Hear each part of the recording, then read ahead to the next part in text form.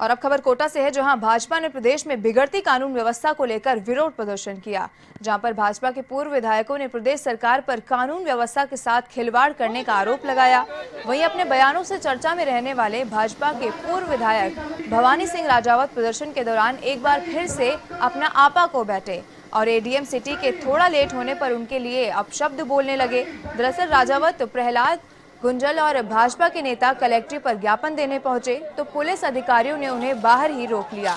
और ADM city के बाहर आने के बाद भाजपा नेताओं से कही, लेकिन जब पाँच मिनट तक एडीएम सिटी बाहर नहीं आए तो पूर्व विधायक राजावत गुस्सा हो गए। और पुलिस अधिकारियों के सामने ही एडीएम सिटी के लिए गाली और अपशब्द का प्रयोग करने लगे।